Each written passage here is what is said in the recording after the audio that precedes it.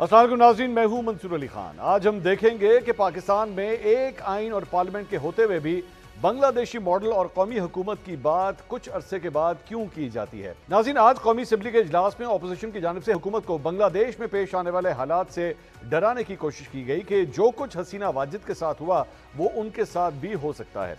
पाकिस्तान की आवाम ने अब तक चार फौजी हुक्मरानों को भी बर्दाश्त किया है। कभी काकड़ फॉर्मूले के तहत सबको घर भेज दिया गया तो कभी अदालतों ने मुंतब वज्र आज़म को उहदों से हटा दिया। लेकिन पाकिस्तान की सियासी लेबॉर्ट्री में तसलसल के साथ तजुर्बा किए जाते रहे हैं। पाकिस्तान की सियासत में बांग्लादेशी मॉडल की गूंज आज से नहीं, बल्कि गुजशत डेढ़ दहाई से सुनाई दे रही है। मुल्क के चंद अनासर सिविल मिलिट्री ताल्लुक में जरा सा तनाव देखकर बांग्लादेशी मॉडल का चूरन बेचने निकल पड़ते हैं। लेकिन क्या पाकिस्तान बांग्लादेशी मॉडल के लिए तैयार भी है? नाजीन, बांग्लादेश में 2007 में हुकूमत का तख्ता उलटने के बाद फौज ने एक अबूरी हुकूमत कायम की, जिसने अगले दो साल तक मुल्क पर हुक्मरानी की। इस निगरा हुकूमत ने एक लाख के करीब लोगों को बदनवानी के इल्ज़ाम में गिरफ़्तार किया। इस दौरान बांग्लादेश में इंसानी हकूक की शदीद खिलाफ वर्जियाँ हुई, जिसके नतीजे में 300 के करीब लोग मारे गए। मगर इन दो बरसों के दौरान ब्यूरोक्रेसी में बेहतरी लाई गई। इंतबी असलाहत की गई, जिसके बाद आम इंतबात में वोटों की शरह सत्तर फ़ीसद के लगभग रही। 2009 के आगाज़ में कौमी हुकूमत की असलाहत की बदौलत इकतदार हसीना वाजिद को मुंतकिल हो गया। दो साल बांग्लादेशी मॉडल का पाकिस्तान की सियासत में गुजशत सत्रह साल से तस्करा जारी है। अब जब भी पाकिस्तान के सिविल मिलिट्री ताल्लुक उतार चढ़ाव का शिकार होते हैं तो चौक, चौराहों और स्क्रीनों पर बांग्लादेशी मॉडल का चूरन बेचना शुरू कर दिया जाता है। पीपल्स पार्टी की हुकूमत में जब मेमो गेट की वजह से सिविल मिलिट्री ताल्लुक में तनाव पैदा हुआ तो हर फोरम पर बांग्लादेशी मॉडल की बातें होना शुरू हो गई। इसके बाद जब यूसुफ रजा गिलानी को तोहिन अदालत पर वजारत उजमा से फारिग किया गया तो मुल्क में बांग्लादेशी मॉडल की बातें होना शुरू हो गई। यही नहीं, पीपल्स पार्टी हुकूमत के आखिरी साल में अवामी तहरीक सबरा डॉक्टर ताहरुल कादरी ने मीनार पाकिस्तान पर जलसा किया तो उस वक्त भी बांग्लादेशी मॉडल की बातें होने लगी। 2014 के धरनों के दौरान भी पाकिस्तान के मसाइल का हल बांग्लादेशी मॉडल में ढूँढने की कोशिश की गई। उसके बाद जब डॉन लीज का मामला सामने आया तो फिर ये बातें शुरू हो गई कि काकड़ फॉर्मूले के तहत सबको घर भेज दिया जाए और मुल्क में बांग्लादेशी मॉडल मुतारफ करवाया जाए। पैनमा केस में नवाज़ शरीफ को वजारत उजमा से हटाया गया तो वो खुद तो जीटी रोड पर मुझे क्यों निकाला की दहाई देते रहे, लेकिन इस्लामाबाद में फिर बांग्लादेशी मॉडल की बात की जाने लगी। उसके बाद 2018 के इंतबात होते हैं और सेम पेज की राग की वजह से बांग्लादेशी मॉडल की गूंज कुछ अरसे के लिए थम गई। लेकिन फिर अक्टूबर 2021 में एक अहम इदारे में, अहम शख्सियात की तैनाती पर नोटिफिकेशन में ताखिर के बायस एक मसला पैदा हो गया, जिसके बाद ऐसा लग रहा था कि बांग्लादेशी मॉडल का चूरन बेचने वाले मार्केट में अब कुछ नई चीज़ बेचने के लिए लाएँगे। लेकिन वो एक बार फिर अपनी पुरानी फखरिया पेशकश के साथ बांग्लादेशी मॉडल ही सामने लाए। नाजिन अप्रैल 2022 में सबक वजी अजम इमरान खान के खिलाफ तहरीक अदम कामयाब हो गई और बांग्लादेशी मॉडल का चूरन बेचने वाले वक्ती तौर पर कामयाब ठहरे। तहरीक इंसाफ को छोड़कर पार्लियामेंट में मौजूद बाकी तमाम जमातें नई हुकूमत का हिस्सा बन गई। लेकिन 16 माह की पीडीएम की हुकूमत ने कौमी हुकूमत के तमाम ख्वाब चिकनाचूर कर दिए। पीडीएम की हुकूमत अगस्त 2023 में खत्म हुई तो इंतबात नब्बे रोज में हो जाने चाहिए थे, लेकिन ऐसा ना हो सका। निगरा हुकूमत कायम हुई तो फिर बांग्लादेशी मॉडल की बातें कुछ हल्कों में होना शुरू हो गई और दलाइल के अंबार लगाए जाने लगे कि आइन में लिखा है कि इंतबात नब्बे दिनों में होंगे। अगर नहीं हो सके तो बांग्लादेशी मॉडल की तर्ज पर इसी हुकूमत को दो साल तक के लिए खींचा जाए। आइन की खिलाफ वर्जी चाहे एक बार हो, चाहे एक से जायद बार। क्या फ़र्क पड़ता है? लेकिन सुप्रीम कोर्ट की मुदाखलत की वजह से आठ फरवरी को इंतबात हो गए और जो कहा जाता था कि मुशी इसकाम के लिए सियासी इसकाम ज़रूरी है, लेकिन इंतबात के बाद भी मुल्क में सियासी इसकाम नहीं आ सका। नाजिन माइनस तरीके इंसाफ, विफाक में हुकूमत कायम हो गई। खैबर पख्तूनख्वा के अलावा बाकी सूबों में हुकूमती इतिहादियों की हुकूमत बन गई, लेकिन आज भी मुल्क में सियासी अदम इसकाम की बात हो रही है। कहा जाता है कि इदारों के दरमियान टकराव की सूरत है, हुकूमत और अदलिया के दरमियान महाजराई है। हुकूमत बार बार ये बात कर रही है कि एक जमात को अदलिया की तरफ़ से रिलीफ दिया जा रहा है। अपोजिशन का मौकफ है कि अदलिया के फैसलों पर अमल ना करने के लिए पार्लियामेंट में कानून साजी की जा रही है। लेकिन कल जो बांग्लादेश में मनाजिर देखे गए, क्या पाकिस्तान इन मनाजिर का मुतहमल हो सकता है? इसी मौजू पर मजीद बात करेंगे, अपने पैनलिस्ट का इंट्रोडक्शन कराता हूँ। हमारे साथ मौजूद हैं एंकर पर्सन सीना तजियाकार गरीदा फारूकी साहिबा। मुस्लिम इकनून से उनके रहनुमा राना एहसान अफजल साहब हमें ज्वाइन कर रहे हैं और पाकिस्तान तहरीक इंसाफ से उनके रहनुमा नईम हैदर पंचोता साहब हमारे साथ मौजूद हैं। तमाम मेहमानों का बहुत बहुत शुक्रिया। गरीदा साहबा, आपसे सबसे पहले मैं आगाज़ करूँगा, बांग्लादेश में हसीना वाजिद की हुकूमत जाने के बाद एक कंपेरिजन कल से जो है वो शुरू हो गए हैं। बल्कि पाकिस्तान तहरीक इंसाफ ने कल स्वाबी के जलसे के अंदर भी इसका ज़िक्र किया। आज कौमी असम्बली के फ्लोर के ऊपर भी जो है इसका ज़िक्र हुआ। और शहबाज शरीफ साहब को बार बार ये मैसेज दिए गए कि जनाब, पूछ लें, देख लें, हसीना वाजिद से डिस्कस कर लें कि भागा किस तरह जाता है, क्या तरीकाकार होता है। ये ना हो कि आपको इसका मौका भी ना मिले। ये फेयर कंपैरिजन हो रहा है कि हालात वाकई इस नहज पे पहुँचे हुए हैं कि शहबाज शरीफ साहब को भी परेशान होना चाहिए। नहीं मंसूर खान साहब ये बिल्कुल भी फेयर कंपैरिजन नहीं है। बांग्लादेश की अपने डायनामिक्स हैं पॉलिटिकल डायनामिक्स हैं अपनी उनकी ग्राउंड रियलिटीज हैं। और ये सोचने समझने की ज़रूरत है सबको बतौर सहाफी। मैं तो इस चीज़ को देख के हैरान थी कि बांग्लादेश आपने भी ज़िक्र किया कि उसके इकोनॉमिक मॉडल की उसके गवर्नेंस मॉडल की पाकिस्तान में भी मिसालें दी जाती थी। अभी चंद हफ़्ते पहले तक चंद महीने पहले तक कि देखिए बांग्लादेश कहाँ पहुँच गया टेक्सटाइल कहाँ तक पहुँच गया वगैरह वगैरह so on and so forth anyway coming back to the point coming back to your question जो मैं जवाब देना चाह रही हूँ पाकिस्तान तरीके इंसाफ देखिए अभी 1971 का शेख मुजीब का एक बयानिया एक ट्वीट किया था। अभी कुछ हफ़्ते पहले तक तो पाकिस्तान तरीके इंसाफ 1971 को पाकिस्तान के लिए या अपने लिए उसको इस्तेमाल करके या मिस यूज़ करके पाकिस्तान के खिलाफ एक बयानी के तौर पे उसको आ, सामने लेके आई थी। शेख मुजीब को तो वो हीरो बनाकर पेश कर रहे थे कि उनके साथ बड़ी ज्यादती हो गई। तो अब पाकिस्तान तरीके इंसाफ क्या कहती है? जो शेख मुजीब के मुजस्मे खुद बांग्लादेशी आवाम जिस तरह से गिरा रहे हैं और जिस तरह से नफरत का इजहार कर रहे हैं गुस्से का इजहार कर रहे हैं।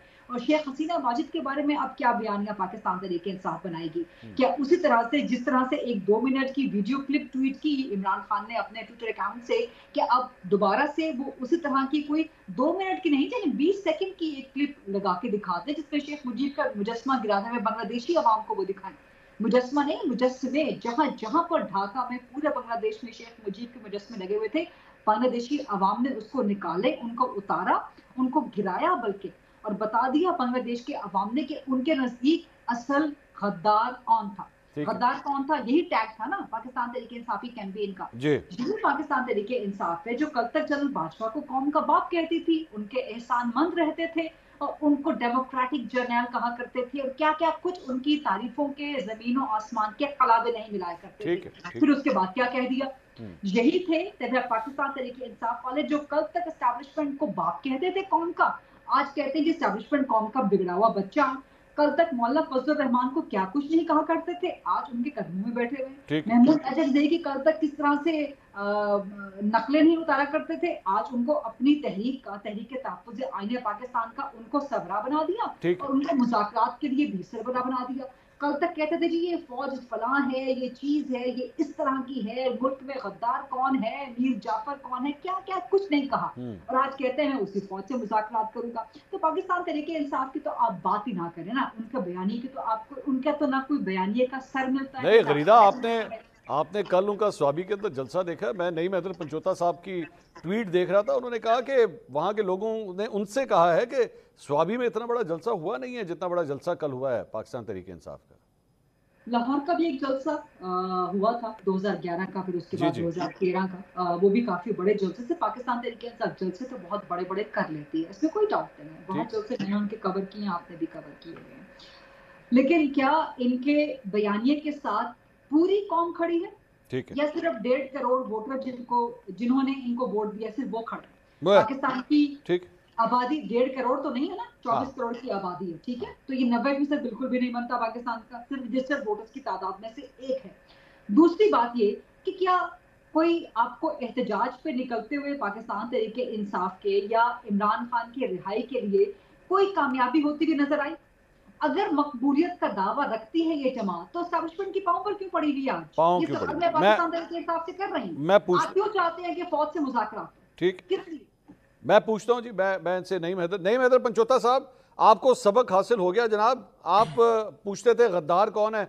देख लीजिए शेख मुजीब के मुजस्मे जो है वो किस तरह तोड़े गए हैं। इनको आपने हीरो बनाया हुआ था। दूसरा गरीजा साहिबा कह रही है क्यों पाँव पकड़ते हैं इस्टेब्लिशमेंट के आप? आप, ये इस तरह एहतजाज होता है, ये बांग्लादेश के अंदर इस तरह एहतजाज हुआ है कि पाँव पकड़े जाते हैं। जवाब दीजिए।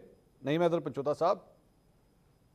बहुत शुक्रिया मंसूर भाई, आपने मौका दिया। देखें, पहली बात तो यह है कि इस शो के अंदर अब दो बार एक तरफ़ हमारे राना साहब बैठे हुए हैं और उधर गरीदा फ़रूकी साहब बैठी हुई हैं, जो कि मुकम्मल पाकिस्तान तरीके इंसाफ को मुसलसल क्रिटिसाइज़ करती हैं। अगर कोई साफ़ी जो है मेरा ख्याल में अगर न्यूट्रल होकर सबको क्रिटिसाइज़ करे तो वो सारे अप्रिशिएट भी करते हैं डेफिनेटली करें क्रिटिसाइज़ हमें भी गलतियाँ होंगी औरों में भी गलतियाँ होंगी फिर औरों की गलतियाँ भी आप हाईलाइट करें।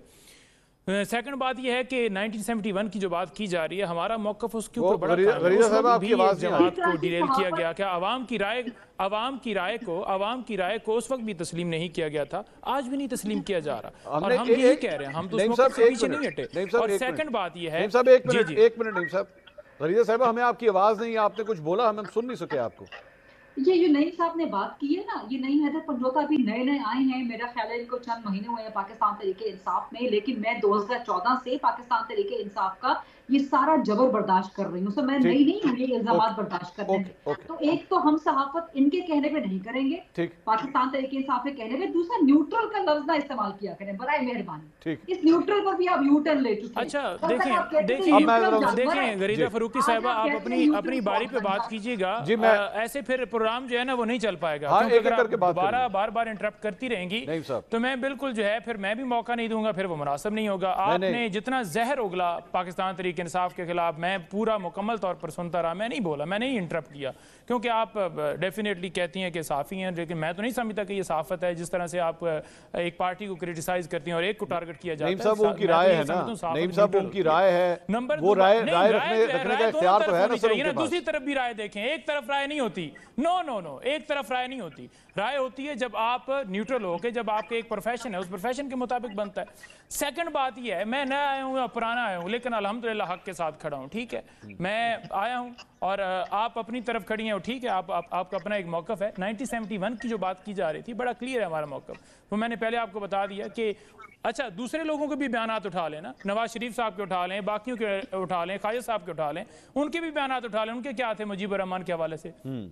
और हम तो अब भी कह रहे हैं। और सेकंड बात यह है कि अगर एक बाप जो है उसकी बेटी जो है वो एक गलती करेगी और सिर्फ़ गलती नहीं करेगी कि चौदह साल से वो वहाँ पर वही जो आज पाकिस्तान के अंदर हो रहा है कि लोगों को उठाया जाना आ, उनके ऊपर मुकदमात बनाना उनको जेलों में डालना स्टूडेंट्स को कहना कि ये गद्दार हैं और तीन सौ लोगों को शहीद कर देना। और फिर इसी तरह से ये सिलसिला जारी रहा। एक इलेक्शन हुआ एक इलेक्शन के अंदर उन्होंने कहा जी कि एक इलेक्शन तो चोरी कर लिया गया और दूसरे इलेक्शन के अंदर किसी को जो है वो शामिल ही नहीं होने दिया गया। और फिर यकतरफा इलेक्शन होगा फिर ऐसी यही सूरत हाल चलती रही जो आज पाकिस्तान के अंदर है। और अगर ये पाकिस्तान के अंदर इसी तरह से चलती रहेगी। जैसे चल रही है तो डेफिनेटली वही हालात होंगे।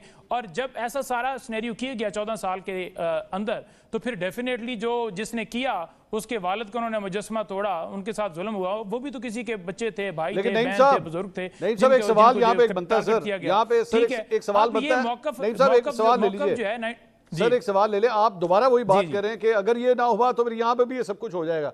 सर एक चीज़ का फ़र्क है ना, एक चीज़ का फ़र्क यह है कि बांग्लादेश में वो जो स्टूडेंट्स थे, जो तालब इलम थे, वो इस्टेब्लिशमेंट से या फौज से ये नहीं कह रहे थे आपकी मेहरबानी हमसे मुजाकर कर लें, आपकी मेहरबानी बंदा अपॉइंट कर दें, हमारे साथ बैठ के बात कर लें। वो ये काम तो नहीं कर रहे थे सर। नहीं, देखें, वहाँ पर उनके ऊपर जुल्म सितम हो रहा था और वो खड़े हो गए और वो निकले और अपना हक के लिए निकले जो उनके ऊपर सितम हो रहा था। अभी भी जो सबक वजी अजम है और जो अपोजिशन लीडर हैं, जिनकी रिहाई के हवाले से हम सुन रहे हैं कि उनको रिहा किया जा रहा है या रिहा कर दिया गया है, उनको इसी तरह से डाला गया जैसे आज पाकिस्तान के अंदर सूरत हाल है, आज हमारे लोगों को जो सोशल मीडिया के वो दहशत गर्द कहा जा रहा है, आज वकला के ऊपर दहशत गर्दी के मुकदमा, मेरे ऊपर दहशत गर्दी का पर्चा है, और लोगों के ऊपर दहशत गर्दी आज हम सारे टेररिस्ट हैं, आज जो हक की बात करता है वो टेररिस्ट है, आज अगर कोई साफी बात करता है, उसे शहीद कर दिया जाता है। आज उसे कत्ल करने के बाद अगर जुडिशल कमीशन बनाने की दरखास्त जो है वो हाई कोर्ट के अंदर या किसी जगह पर जाती है तो उसके ऊपर जुडिशल कमीशन नहीं बनाया जाता। कौन नहीं बनाने दे रहा? कौन नहीं अरशद शरीफ के कत्ल के ऊपर जुडिशल कमीशन बनाने दे रहा? अगर यही सूरत हाल रहेगी तो डेफिनेटली वही सूरत हाल होने जा रही है। हम यही कह रहे हैं कि दोबारा गलतियाँ हम्म। जो वहाँ पर हुआ और जो वहाँ पर ये सूरत हाल हुई ये पाकिस्तान के अंदर भी इसी तरह से किया जा रहा है। जब आप आवाम को आवाम का हक नहीं देंगे तो डेफिनेटली इनकलाब की तरफ़ लोग बढ़ते हैं। इंसाफ जलसा आप कह रहे हैं पॉपुलैरिटी नहीं है। पॉपुलैरिटी क्यों नहीं है?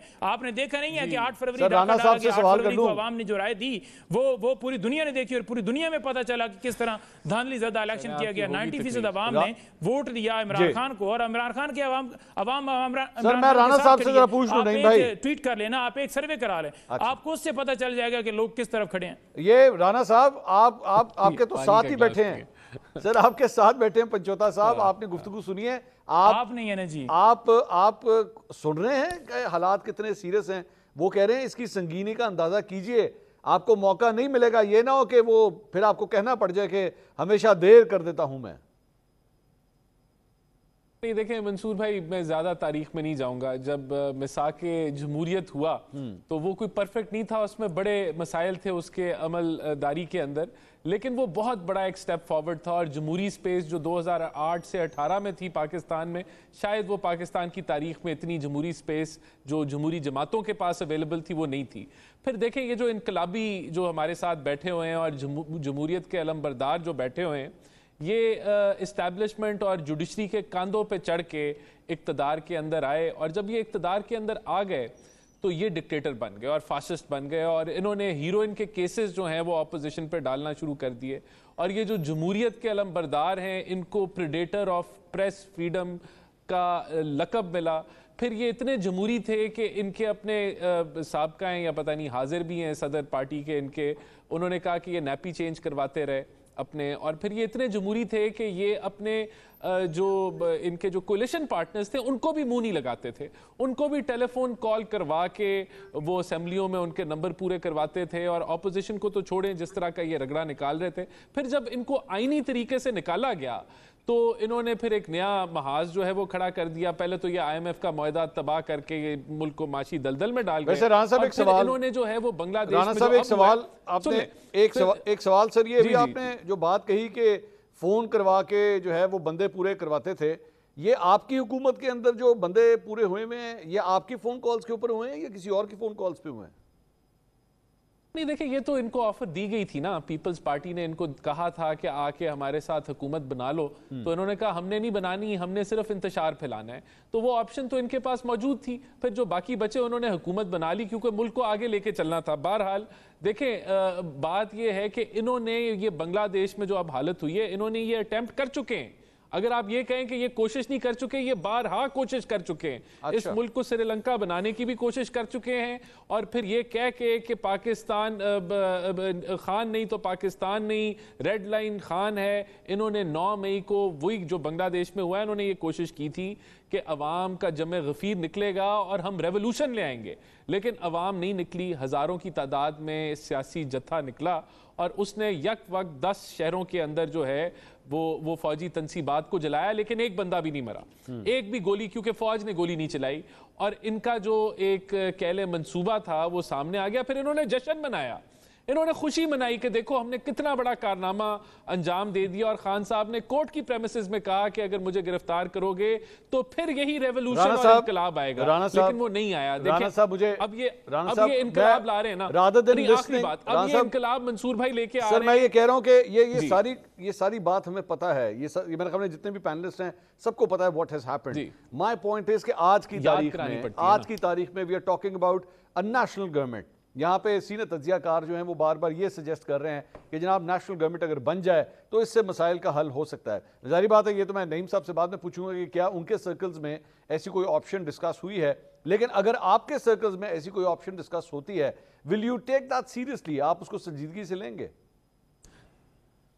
नहीं देखें जो ऐसी डिस्कस पहली बात तो ये कि ऐसी कोई डिस्कशन नहीं हो रही पावर सर्कल्स में और इस्लामाबाद में तो कम अज़ कम नहीं हो रही। इस चीज़ की मैं आपको तस्दीक कर देता हूँ जो पीएम हाउस और उसके गिरदो नवा में जो मिनिस्ट्रीज और पार्क सेक्रेटेरिएट है वहाँ ऐसी कोई बात नहीं हो रही। हाँ। ये लोगों की ख्वाहिशात ज़रूर होगी लेकिन देखें बात यह कि कंसेंसस के लिए तो हम लोग तैयार साहब और हम तो तब राना साहब माजल के साथ मैं आपकी हाँ बात काट रहा हूँ। ये डिस्कशन वज़ीर हाउस के गिरदो नवा में नहीं होती अगर होनी होती है। ये कहीं बहुत दूर होती है वहाँ पे नहीं होती। है नहीं मैं कुछ कहना चाहूँगी। जी गरीदा गरीदा मेरे ख्याल से मेरे ख्याल से वहाँ भी नहीं हो रही लेकिन मैं आपको ये ज़रूर कहना चाहूँगा कि हम जो है कंसेंसस में बिलीव करते हैं। जब prime minister Shahbaz Sharif opposition leader थे वो तब भी कहते थे मिसाक मीशत करो। इस चीज़ में कौन नहीं बिलीव करता? ठीक है। इसमें फर्द वाहिद खान साहब की बात उनकी जो सियासत है उसमें वो परफेक्ट है और बाकी सब जो है वो खराब है और उनके साथ वो चल नहीं सकते।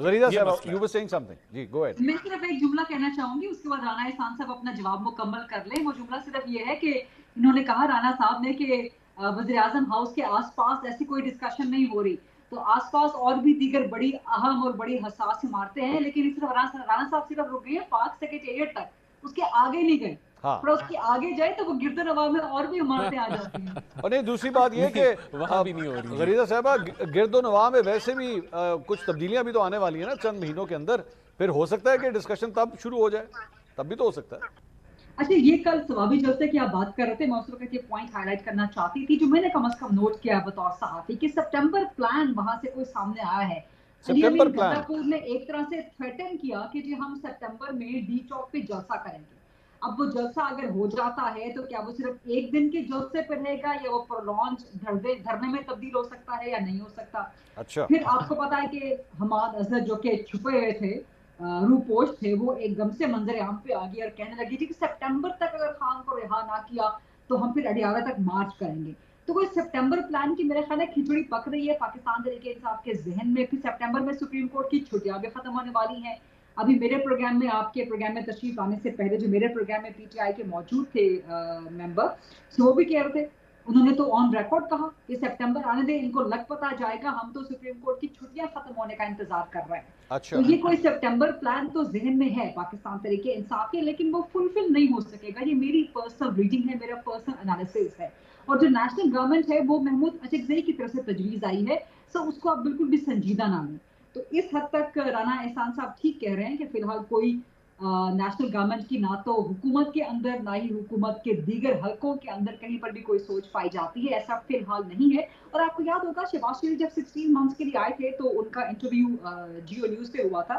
उन्होंने वहाँ कह दिया था, उस वक्त भी वो नेशनल गवर्नमेंट बनाने के हामी थे sans PTI without PTI so मेरा ख्याल है कि शहबाज शरीफ की वही सोच अभी भी शायद बरकरार है। दूसरा नईम हैदर पंजोता साहब ने जो मुझ पर इल्ज़ाम लगाए हैं मैं उनका जवाब देना चाहूँगी। ये इल्ज़ाम नए नहीं है पाकिस्तान तरीके इंसाफ के लिए आ, की तरफ़ से मेरे लिए।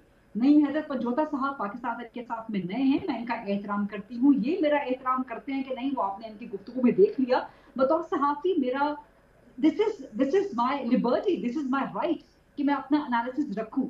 आप किसी को मजबूर नहीं कर सकते आप किसी को सप्रेस एंड ऑपरेस नहीं कर सकते। कि जी आप नहीं मेरी मर्ज़ी का एनालिसिस रखेंगी मेरी मर्ज़ी का ओपिनियन रखेंगी मेरी मर्ज़ी की खबर देंगी ऐसा नहीं होता। हम्म। इसीलिए आपका जब हुकूमत थी पाकिस्तान तरीके इंसाफ की 2018 से 2021 या जिस वक्त तक भी उसमें प्रीडेटर प्रेस प्रीडेटर का खिताब मिला था इमरान खान को जो इससे पहले पाकिस्तान में किसी हुक्मरान को नहीं मिला और अब तक नहीं मिला।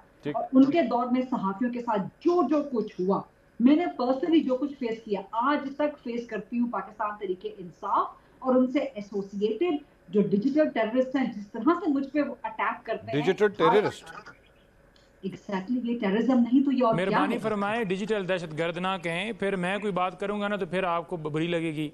नहीं नहीं ये ये कोई मुनासिब अल्फाज नहीं है। जो आप कह रही हैं। सर ये ये वैसे नहीं भाई ये अल्फाज तो आईएसपीआर की जानब से भी बार बार इस्तेमाल होते हैं। फौज के प्रेस रिलीज़ में लफ्ज आता है कि डिजिटल दहशतगर्दी हो रही है।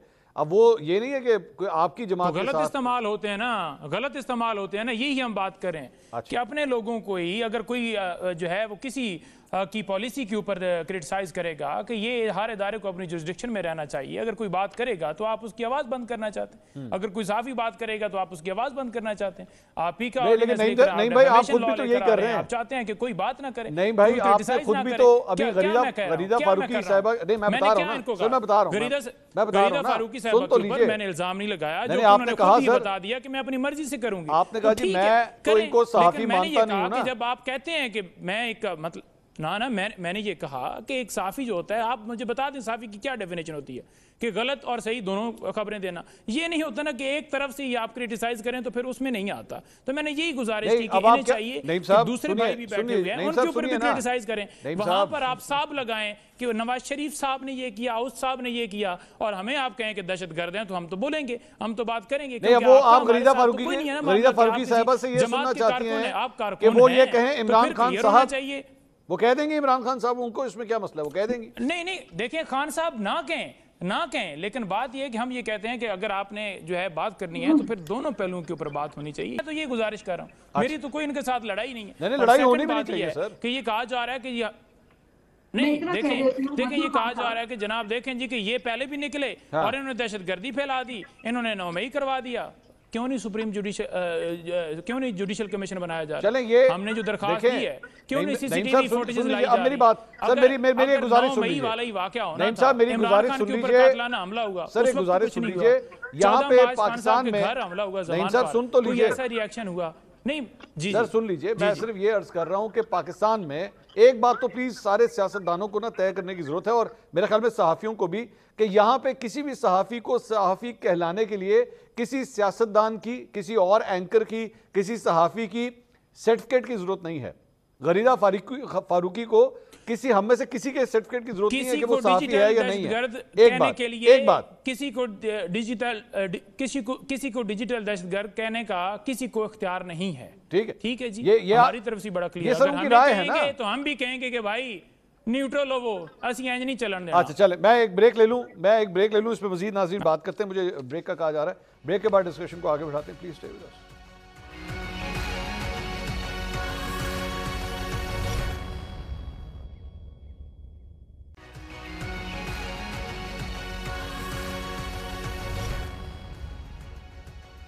Nazim welcome back after the break digital दहशत गर्दी और सहाफत के सर्टिफिकेट्स के हवाले से बात हो रही है। गरीदा साहबा कुछ कहने जा रही थी, मैं ब्रेक तो मुझे जाना पड़ा। गरीदा गरीदा साहबा प्लीज़ बी क्विक फिर मैंने आगे चलना। बोलिए, आप क्या कह रही हैं? नहीं, हैदर साहब एतराज़ कर रहे थे कि जी, नवाज़ शरीफ साहब कहा जाता है या जरदारी साहब कहा जाता है और हमें साहब नहीं कहा जाता। तो मैं कह देती हूँ कि जी, पीटीआई साहब और पीटीआई से एसोसिएटेड अकाउंट्स साहिबान, ये मेरे खिलाफ डिजिटल दहशत गर्दी करते हैं, ठीक है?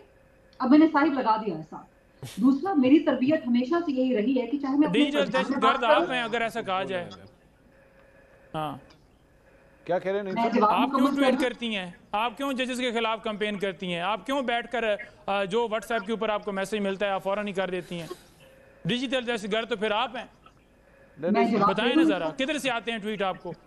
मैं जवाब दे दूँ इसका? जी जी गरीदा साहबा go ahead go ahead please जी जी दें। अच्छा ये पाकिस्तान तरीके इंसाफ साहिब का क्योंकि नईम साहिब ने एतराज़ किया कि हमें साहिब क्यों नहीं कहा जाता? पीटीआई साहिब का यही तरीका इबारदात है कि सहाफियों को डिस्क्रेडिट किया जाए उन पर गलत सलत हर किस्म के इल्ज़ाम लगाए जाए। जितने इल्ज़ाम नईम साहब ने लगाए हैं मेरे ऊपर ये साबित करें। मेरे सवाल के जवाब दे ऑफ़ देना लॉ में- आप। मेरे सवाल के जवाब कोर्ट दे ऑफ़ देना। लॉ में साबित कर दें। किसी भी कोर्ट ऑफ़ लॉ में साबित जितने इल्ज़ाम आपने लगाए हैं आप मुझे किसी कोर्ट ऑफ़ लॉ में ले जाएँ वहाँ साबित ट्वीट आपको मेरी ट्वीट प्रॉब्लम मैडम, ट्वीट के जवाब हमेशा से प्रॉब्लम है।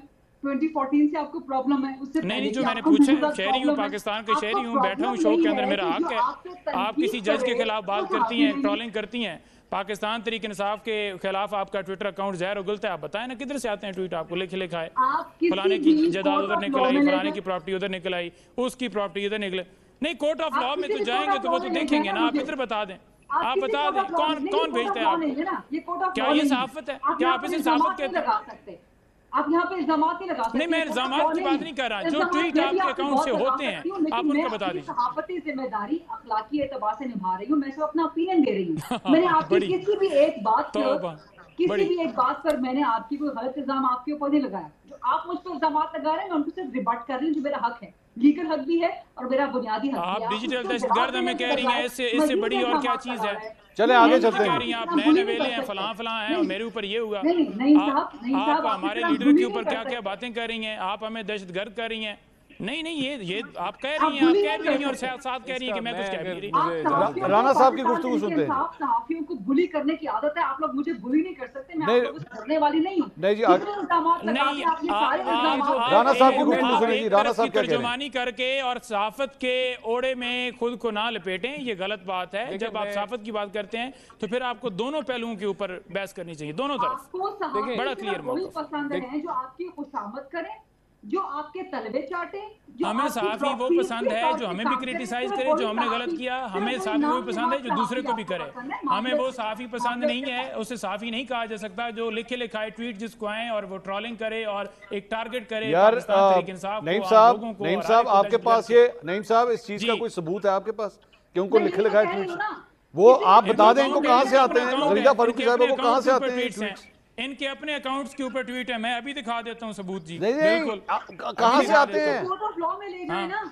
कोर्ट ऑफ़ लॉ में ले जाए साबित करें वहाँ पे ये इल्ज़ाम जो सारे आप लगा रहे हैं देखें एक आपने गलत किया और एक आप मुझे कह रही हैं कि आप कोर्ट ऑफ़ लॉ में ले जाएँ यहाँ पर तो जवाब दे देना। लफ्जी शेर ना बना करें नहीं साहब आप लॉयर हैं। फिर आप कहेंगे कि देखिए पाकिस्तान तरीके हैं, इंसाफ के दौर में मुझे पॉलिटिकल विक्टिमाइज किया गया और अब इमरान खान की माँ के ऊपर मेरे ऊपर केसेस बना दिए गए है। साफियों के साथ ये सलूक किए जा रहे फिर लगाए आपका ये हो जाएगा इमदाद नहीं नहीं साहब आप वकील ना, की क्या बात है? मैं तो सिर्फ़ पूछ रहा हूँ कि व्हाट्सएप जो है वो लिखे लिखाए जो ट्वीट हैं वो मुझे बता दें किधर से आते तो हैं? आप इन सारे इल्जामात पे कोर्ट ऑफ़ लॉ में ले जाए मुझे I see you in the court फिर वहाँ जवाब दे दूँगी। ओहो मैं तो सिर्फ़ सवाल कर रहा हूँ मैं तो ट्वीट। का पूछ रहा हूँ आप मुझे ट्वीट बता दें। चले- इसमें तो बहस आगे खर्चा भी नहीं होगा, ले जाएँ।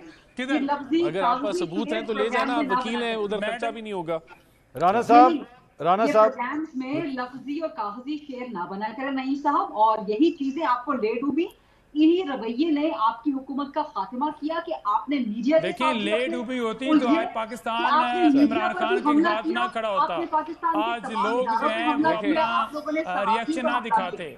आज डाका ना डालना पड़ता। आज एक जुर्म को छुपाने के लिए सौ जुर्म ना करने राणा साहब- के घरों में छापे ना मारे जाते। राणा साहब से सर मैं जी सर, सवाल करना चाहूँगा बड़ी देर से वो बैठे हुए उनसे मुझे मुझे सवाल करने दीजिए। रा, राणा साहब ये गरीदा साहिबा ने एक सितंबर प्लान की बात की और ये हकीकत है कि कल इस तरह की बात हुई थी।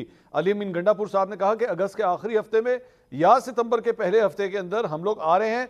चाहे आप हमें इजाज़त देते हैं कि नहीं देते बल्कि जहाँ तक मुझे याद आता है उन्होंने कहा था किसी का बाप भी मुझे नहीं रोक सकता। अब तो आप अब रोकेंगे तो नहीं ना क्योंकि उन्होंने तो अल्टीमेटम दे दिया और वो वज़ीर अला खैबर पख्तूनख्वा है राणा साहब। देखें कोई भी अगर कानून अपने हाथ में देगा तो हुकूमत उसको रोकेगी और कानून के मुताबिक रोकेगी। बात यह है कि ये, ये कोई सितंबर का या अक्टूबर का प्लान है ये तो जब से खान साहब जेल में हैं ये लोग यही कह रहे हैं कि वो अगले हफ़्ते छुटने वाले हैं। फिर उसके दो हफ़्ते बाद वो कहते हैं वो छुटने वाले हैं फिर महीने बाद छुटने वाले हैं। तो ये इनकी कोशिश यही रहनी है कि ये इस तरह अपनी सियासत को ज़िंदा रखें, इसको हम सीरियसली नहीं लेते। जहाँ तक देखें, डिजिटल दहशतगर्दी की बात है, इसमें कोई शक नहीं है कि इस मुल्क के अंदर जो फॉल्ट लाइंस हैं, वो बहुत बड़ी हैं। मुल्क के अंदर दहशतगर्दी सर उठा रही है, इसके माशी मसाइल हैं। और अगर आप आवाम के अंदर प्रोपोगंडा करके इस जो जो पूरा फाइबर है सोसाइटी का उसको आप सियासी नफरत के बीज उसमें बोएँ या पोलराइजेशन का माहौल बनाएँ तो आप बना सकते हैं और इसको रोकना पड़ेगा क्योंकि ये मुल्क को कमज़ोर कर रहा है। अब मैं आपको इसकी मिसालें दे देता हूँ। अब बन्नू के अंदर ये एक ट्रेंड चला कि जी पाक अफवाज ने 200 बंदा मार दिया जबकि वो झूठ था। ये ये डिजिटल दहशतगर्दी है और इसको बिल्कुल इजाज़त नहीं होनी चाहिए कि आप इसको जो है वो फ़रोग देने दें और इसकी वजह से जो राणा साहब लेकिन यहाँ पे आपसे सवाल है। अब आपने राणा साहब आपसे सवाल है कि कि ये आप क्या किसी एक सियासी जमात के साथ मंसूब कर रहे हैं? क्या आप भी पाकिस्तान तहरीकन साहब के साथ इसको नहीं ये तो नहीं नहीं।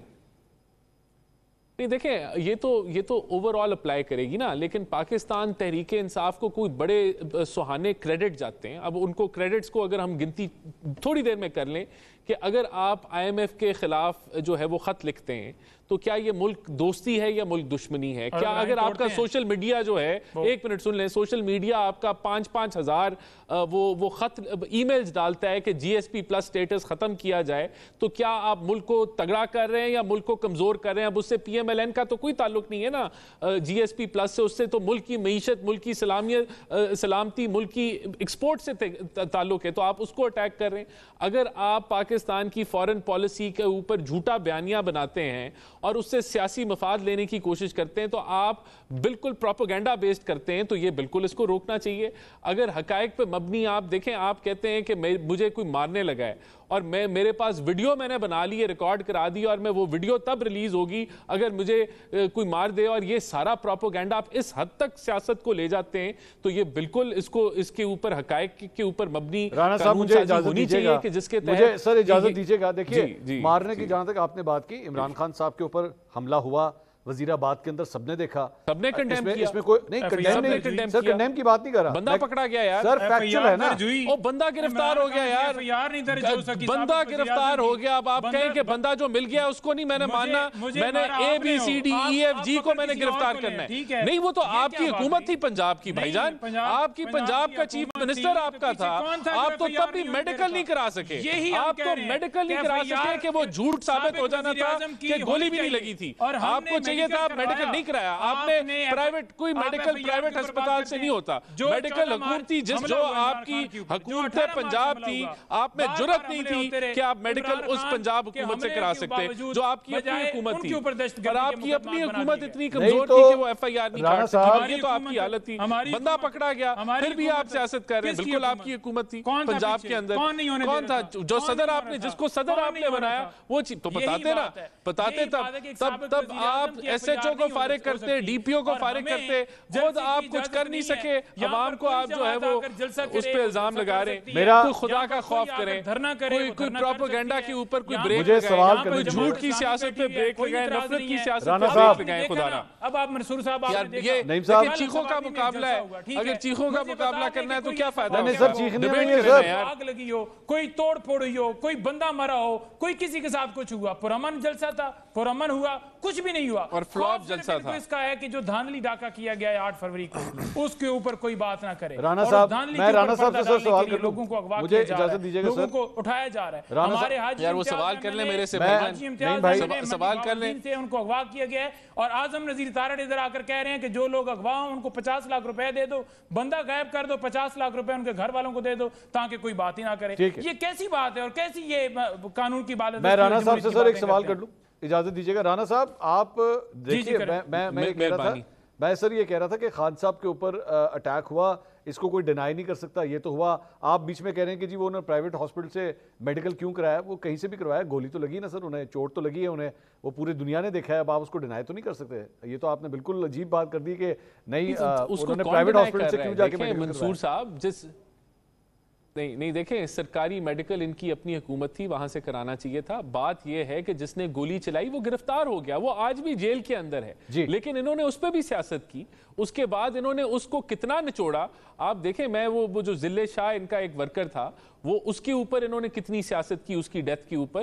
तो इन्होंने तो कोई कसर नहीं छोड़ी नहीं, इन- तो इन्होंने कोई कसर नहीं छोड़ी इस मुल्क के अंदर प्रोपोगेंडा एक मुल्क के अंदर एक नफरत की फिजा चाहे वो अदारों के सरबराह तो हो या अदारे खड़े हैं और इमरान खान के साथ? अगर वो प्रोपेगेंडा ही करता है, बिल्कुल एंटी स्टेट प्रोपेगेंडा की है, तो इजाज़त क्यों नहीं दी जाएगी और बिल्कुल देखें कौन कौन सा आता है आपको एक तिहाई वोट पड़े नवाज़ दो तिहाई वोट बाकी जमातों को अपने हल्के से आ रहा है। दो आठ फ़ीसद फरवरी को हुआ आपको नेशनल कौम ने असेंबली रिजेक्ट किया और दो तिहाई वोट बाकी जमातों को। उन्होंने डाले और धांधली करके कौम की आखिरी उम्मीद डाका डाल के वो खुद खान साहब रिपोर्ट दे रहा है। वो वाहिद हल्के हैं। वाहिद हैं जो इस मुल्क के अंदर जिन्होंने सियासी कल्चर तबाह किया है जो नफरत की एक सियासत को जो है वो पूरी परवान चढ़ाई है और अभी भी मुल्क के अंदर फसाद की एक वो वजह बने हुए अच्छा, हैं चाहते ही नहीं है कि मुल्क में पॉलिटिकल और इकोनॉमिक मुझे अब इजाज़त दीजिए गरीदा फारूकी साहब आप देख लें मंसूर साहब जी जी।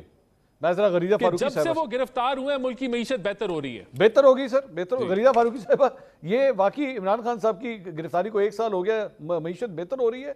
या मीशत खराब हो रही है? मुझ- खुशहाली आ गई है जी बिल भी कम हो गए हैं पेट्रोल भी कम हो गया गरीदा हो। फारूकी साहब मैंने सवाल गरीदा फारूकी साहब मैं आप, आपका तो नहीं इंटरप्ट कर रहा ना। जी जी गरीदा साहब नहीं नईम साहब ने बहुत एतराजात उठाए थे जब इनकी टर्न पर मैंने सिर्फ़ एक अपने आप को डिफेंड करने के लिए एक कमेंट किया था। तो अब नईम साहब से रिक्वेस्ट है कि जब मैं बात कर रही हूँ तो दरम्यान में इंटरप्ट ना करें मुझे जवाब अपना देने थे जब मंसूर खान साहब आपके हवाले करेंगे फिर नईम साहब जवाब दे दीजिएगा। किसी की गिरफ्तारी मैं नहीं समझती कि किसी की भी सियासी गिरफ्तारी या गैर सियासी गिरफ्तारी से पाकिस्तान की मीशत पे कोई असर पड़ता है। लेकिन हाँ सूरत हाल इस हद तक ज़रूर बेहतर हुई है कि जब इमरान खान आज़ाद थे तो उस वक्त जो यहाँ पर हंगाम बरपा था जो यहाँ पे गुलगपाड़ा बरपा था पाकिस्तान की मुआशरे के अंदर सोशल मीडिया उसका एक आईना था उसका एक मिरर था हम्म। किस किस्म की गालम गलोच नहीं हो रही थी उसमें फ़र्क ज़रूर पैदा हुआ है नंबर वन लेकिन सबसे बड़ा फ़र्क तो आपको पाकिस्तान तरीके इंसाफ के अपने अंदर नज़र आएगा। पार्टी के अंदर जूतियों में दाल बट रही है। है? अब नई साहब इस पे एतराज़ करेंगे कि जी आप सिर्फ़ पाकिस्तान तरीके इंसाफ पे एतराज़ क्यों करते हैं या उन पे तनकीद क्यों करते हैं तमाम सहाफी? तो जनाब जहाँ पर चीज़ हमें गलत नज़र आएगी उसको हम गलत कहेंगे। तमाम की नहीं बात अब वो आपके साथ अगर एसोसिएटेड है तो हम उसको गलत कहेंगे।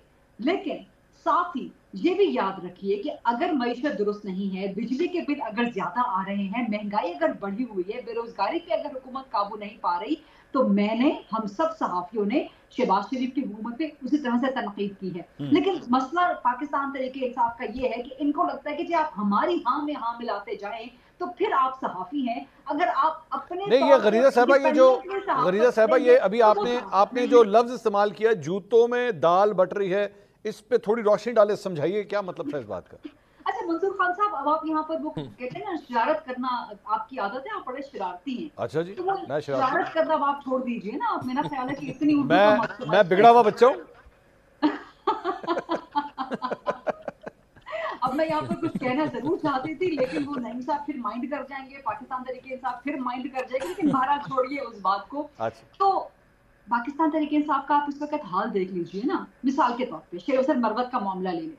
एक नोटिफिकेशन जारी होता है कि हमने उनको पार्टी से निकाल दिया। हम्म। बैरिस्टर गौहर जो कि चेयरमैन है वो कहते हैं मुझे तो पता ही नहीं है इस मामले का।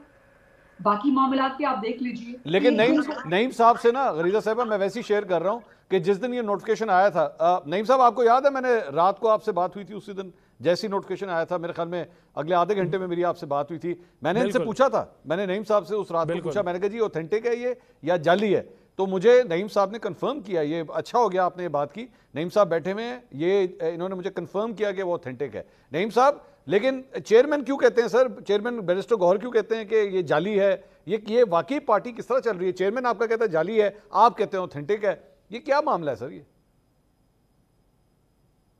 नहीं, देखें, वो इस सेंस के अंदर बात करते हैं कि एक कमेटी बनाई गई थी, चार रुकनी जिसमें रऊफ हसन साहब भी थे और उस वक्त वो जेल में थे। तीन रुकनी कमेटी ने फैसला किया और उन्होंने जो है वो उसके ऊपर उनको टर्मिनेट किया तो गौर साहब को जब टर्मिनेशन करनी थी क्योंकि रात के टाइम ये नोटिफिकेशन आया तो उन्हें उस वक्त कोई नहीं इतला दी कि टर्मिनेशन से पहले तो वो उन्होंने कहा कि ये जल्दबाजी में या इसमें मजीद कंसल्ट करके खान साहब के साथ बातचीत करके तो इस मामले को सुलझाने की तरफ़ जाया जाए ताकि मामला आगे जो हैं जो इंटरनल हैं वो इंटरनल बिगड़े नहीं और उस सेंस के अंदर उन्होंने बात की थी ओवरऑल जो नोटिफिकेशन अब मुझे- मुझे था। कर दें, मैंने क्योंकि ज़ाहिर बात है, लोग आपको देख रहे हैं उसके इस वक्त ऊपर टीवी पे। शमीम नकवी साहब ने अपना नईम साहब आपको लोग टीवी पे देख रहे हैं किया। बराए मेहरबानी तो उनको एक मिनट सुन लीजिएगा। बराए मेहरबानी उनको अभी से बता दीजिए क्या वो एक और यूटर्न के लिए तैयार हो जाएँ या ना हो? कौन जी? लोग शेरत मरवत के हवाले से। कहीं आप लोग आगे चल के यूटर्न तो नहीं लेने लगे बिल्कुल तैयार हूँ यू टर्न यू टर्न तो सबसे यू टर्न तो सबसे बड़ा जो है वो नवाज़ शरीफ साहब ने लिया हर वक्त जो कहते थे। जमहूरियत की बातें करते थे वोट को इज़्ज़त दो वोट को इज़्ज़त दो फिर यूँ करके को पकड़ लिया। हर वक्त तैयार होना चाहिए। यू टर्न तो उन्होंने लिया। तो इन्होंने और- कहा था कि और और हमें ये कहना कि हम दहशतगर्द हैं। जानवर इन्होंने कितने जलसे किए। कहा कि इन्होंने कितने एहतजाज हमने कभी कहा कि आप जल से रखे, एहतजाज ना करें पीटीआई की जो आप भी बैठे जगह है। इस्लामाबाद में हर एक को। बिगड़ा हुआ बच्चा किस किसी को इनका जो है किसी को किसी के ऊपर कोई पाबंदी नहीं थी। मसला सिर्फ़ ये है कि डाका है डाके को मंशूर है जाए। और एनओसी एनओसी हमारा हक है हमें एनओसी दी जाए हमने जलसा करना है। और अगर एनओसी की आड़ के अंदर जानबूझकर डिले किया जाए बार बार ये कहा जाए तो डेफिनेटली फिर हम निकलेंगे हम करेंगे एहतजाज जो हमारा हक है। और एहतजाज करने से किसी को क्या मसला है? अगर मुल्क के अंदर जो है वो मामला जो हैं वो बिल्कुल अंधे होकर चलाए जाएँ तो क्या कोई बात भी ना करे क्या कोई क्रिटिसाइज साहब, ये बताइए- करेंगे और मैशत इस सूरत में नहीं आती जब आपकी चोर हुकूमत बैठी होती है मैशत उस सूरत में इस्तेकाम में आती है जब आवाम की हुकूमत होती है। वोट दिया होता है जिसको सवाल- की राय राय किया जाता है। ये नहीं है फार्म सैंतालीस के मुताबिक बैठा दो पूरी दुनिया तो आपके ऊपर एतबार नहीं करती उन्होंने आपके पास खाक इन्वेस्टमेंट लेकर आनी है वो क्यों नहीं साहब- आप पे नहीं एतबार भाई, करें? सवाल तो अंदर डाका डाला हुआ है ऐसे लोग बैठाए हुए हैं जिनको इकतदार ही नहीं मिला नहीं साहब सवाल तो जी, जी। भाई मैं ये पूछ रहा हूँ ये गरीबा साहब साहबा ने अभी अभी हमें जो थोड़ी देर पहले आप लोगों के सितंबर प्लान के हवाले से बताया क्या सितंबर प्लान है जनाब? क्या करने लगे हैं सितंबर में आप लोग? मैं वही गुजारिश कर रहा हूँ कि सितंबर के अंदर जो ऐलान किया गया है वो इन ताला जलसे का किया गया है क्योंकि हमने कोर्ट ऑफ़ लॉ से रिजू किया हुआ है। लाहौर में भी हमने चौदह अगस्त के लिए इजाज़त मांगी हुई है कि हमें चौदह अगस्त के ऊपर जलसा करने दिए जाए क्योंकि आपने देखा सवाबी में एक पुरमन हुआ। इसके अलावा भी मुख्तलिफ़ जगहों पर आपने देखा कहीं पर गमला नहीं टूटा। सिर्फ़ एक उस आड़ के अंदर वो नौ मई वाला जो हमारे वो ऊपर एक last ड्रामा time नईम साहब जब आप लोग इस्लामाबाद आए थे ना, तो गमला नहीं, गमले, दरख्त तो पता नहीं क्या क्या टूट गया हमारी मेजोरिटी होती। क्यों? पंजाब में हमारी मेजोरिटी होती जिसको मिनोरिटी के अंदर तब्दील कर दी गई तो ये सारी सूरत हाल। हम हमने यही कहा है कि हम अगर हमें नहीं ये तीन चार जगहों रवात हो गया तीन चार हमारे हमने ऑप्शन दिए हैं कि अगर उनके ऊपर इजाज़त नहीं मिलती नहीं एनओसी दी जाती तो फिर डेफिनेटली डी चौक के अंदर जो है वो जलसा किया जाएगा। और अगर धरने की तरफ़ जाना हुआ तो जो लायामल पार्टी बनाएगी जो ऐलान करेगी उस तरफ़ इंशाल्लाह जाएँगे उसमें राणा साहब सुन रहे हैं आप? आप सुन रहे हैं? यो कह रहे हैं अगर जाना हुआ तो वहाँ भी जा सकते हैं हम। देखिए जब खान साहब बाहर थे और खान साहब लॉन्ग मार्च कर रहे थे तो तब भी पूरी कौम ने देखा था कि 24 घंटे में वो तीन घंटे लॉन्ग मार्च चलती थी। और साथ वाले मोहल्ले को नहीं पता होता था कि लॉन्ग मार्च चल रही है। तो ये किसको ये क्या अभी स्वाबी का जलसा पूरे फिर क्यों हमला पाकिस्तान से करवाया इन्होंने लोग इकट्ठे किए? और फिर देखें क्योंकि मुल्क को हमने आगे लेके जाना है इसलिए हमला जो एक जो एक इंतशारी टोला जिनका जिनका प्लान ही इंतशार फैलाना है उसको उसको डेफिनेटली इजाज़त नहीं दी जा सकती, करें, ये जलसे करें। कोई मसला नहीं, स्वाबी में इन्होंने किया फ्लॉप जलसा था। कोई पूरे पाकिस्तान से इन्होंने कितना बड़ा, वो लाइटों के ऊपर ये जलसा था। वहाँ लाइटें चंद एंड तक जलाई हुई थी कि ऐसी लुक आए कि जलसा बहुत भरपूर है, लेकिन जलसों से देखें और धरनों से हुकूमतें नहीं गिरती। ये पाकिस्तान की बड़ा था, ये छोटा कर था। चुका है। किराए के 126 लोग नहीं थे, 126 नहीं वो पूरी इंतजामिया केपीके की उनके सारे सरकारी मुलाजमीन सारे टीचर सारे वहाँ के पटवारी जो भी वहाँ के तहसीलदार सारे हम किए तो हुए थे। तो वो ठीक है राणा साहब कर लिया राणा साहब बात ये कि इन राणा साहब इन चीज़ों से इजाज़त इन चीज़ों एक सवाल नहीं जाती। राणा साहब एक सवाल। ये आपके पास ऑथेंटिक इंफॉर्मेशन है कि इनके जलसे में पटवारी भी आए हुए थे? देखें अब ये इसी तरह सुना है कि वहाँ के जो सरकारी मुलाजमीन है कौन से वो पटवारी? बिल्कुल वो वो वहाँ केपीके के जो सरकारी मुलाजमीन है वो दुबा के आए हुए थे। बिल्कुल ऑथेंटिक और उसमें पटवारी भी शामिल थे? हाँ जी। अब ये मुझे नहीं पता कि पटवारी मैंने कह दिया लेकिन ज़रूर वहाँ के जो पटवारी के जो रेलेवेंट जो वहाँ जो ऑफिसर होगा वो ज़रूर वहाँ शामिल होगा। तहसीलदार या नायब तहसीलदार? वो- वो- उसने क्या करना है? गरीदा साहबा वो एक हमारे दोस्त हैं हसन अयूब साहब। वो दरियाए रावी के हवाले से अक्सर बताते रहते हैं कि रावी जो है वो चैन ही चैन लिख रहा है। तो दरिया की मौजों के हवाले से आपके पास क्या रिपोर्ट है? दरिया में चैन ही चैन है या दरिया बेचैन है? अच्छा जो ये हसन अयूब साहब का एक ट्रेडमार्क है या जो जिसको वो क्लेम करते हैं, ये तो आप हसन साहब को अपने प्रोग्राम में लें तो फिर आप उनसे जानने की कोशिश करें। लेकिन मुझे बहरहाल फ़िलहाल कोई हुकूमत को खतरा नज़र नहीं आता और जितने भी जो हल्के हैं ज़ाहिर सबसे मुलाकातें होती रहती हैं हाँ। हम साहब हैं सबसे बात होती रहती है हमारी। सो फ़िलहाल तो इस हुकूमत को या सितंबर प्लान या अक्टूबर प्लान या जो भी उम्मीदें बाँध ले अब अदरिया से पाकिस्तान तरीके इंसाफ ने उम्मीदें बांधनी हैं उससे पहले एस्टैब्लिशमेंट के साथ उम्मीदें थी बल्कि अब दोबारा से एस्टैब्लिशमेंट के साथ फौज के पाँव पकड़ने पर राज़ी हो गए कि जी हमें माफ़ कर दें और हम आपके साथ मुजाकरात करने को तैयार है। हम सिर्फ़ आपके साथ मुजाकरात करेंगे और आप दोबारा से हमारे बाप बनने को तैयार हो जाए। दूसरी चीज़ दूसरी चीज़ जलसा करना किसी भी सियासी जमात का बुनियादी हक है। हर शहरी का ये हक है आइन के तहत। लेकिन कुछ आपकी मुआशरती कुछ आपकी समाजी अकदार होती हैं। पहले पाकिस्तान तरीके इंसाफ ने जलसा करने के लिए मुहर्रम हराम का जो है ना वो चूज़ किया। अदालत ने आपको कहा कि जी मुहर्रम है और आप इसका एहतराम करें और आप जलसा मुहर्रम के चेलम के बाद कर लें ठीक है। तो अदालत के कहने फिर पाकिस्तान तरीके इंसाफ को रियलाइज़ हुआ कि हाँ हमें मुहर्रम का एहतराम करना चाहिए। फिर सवाबी का जलसा कल पूरी कौम सौग में थी पाँच अगस्त यौम कश्मीर था। मैं बतौर कश्मीरी मुझे इंतहाई दुख हुआ कि आप बड़ी बड़ी मुस्कुराहटों के साथ और आप बड़ी गुंडागर्दी वाली लैंग्वेज के साथ और आप एक जश्न मना रहे हैं और आप तराने चला रहे हैं या आप गाने चला रहे हैं। पाँच अगस्त है कश्मीरियों के साथ यकजहती का इजहार करना चाहिए था और आप खुशी सेलिब्रेट कर रहे हैं। ये क्या तरीका था? मतलब कुछ तो आप अपनी कोई कुछ तो पॉलिटिकल साहबा, वैसे वो खुशी तो नहीं सेलिब्रेट कर रहे थे वो तो खान साहब का एक साल में जेल में होना मेरे ख्याल में उसके ऊपर एहतजाज था वो एक किस्म का नहीं कम से कम तस्वीरें जो आई पाकिस्तान तरीके इंसाफ की लीडरशिप की आप देख लें उनके अच्छा। अपने ऑफिशियल अकाउंट उसमें हंस रहे हैं ये लोग? सब हंस रहे हैं अच्छा, सब उसमें। और ठीक है इमरान खान के एक साल मुकम्मल हो गया था तो पाँच अगस्त के बजाय छह अगस्त को भी हो सकता था ना सात एक अलामती होता है ना जलसा बट पाँच अगस्त को जब यौम इस्तेसाल कश्मीर मनाया जा रहा है और मोदी सरकार की कंडेमनेशन पूरी कौम कर रही है उस वक्त वाहिद पाकिस्तान तरीके इंसाफ है जिसकी लीडरशिप खुशियाँ मना रही बहुत बहुत शुक्रिया गरीदा फारूकी साहबा बहुत शुक्रिया आपका राना एहसान अफजल साहब नईम हैदर पंचोता साहब बहुत बहुत शुक्रिया। मेरा वक्त नाजीन खत्म हो गया। इंशाल्लाह कल आपसे दोबारा मुलाकात होगी। अल्लाह हाफिज़।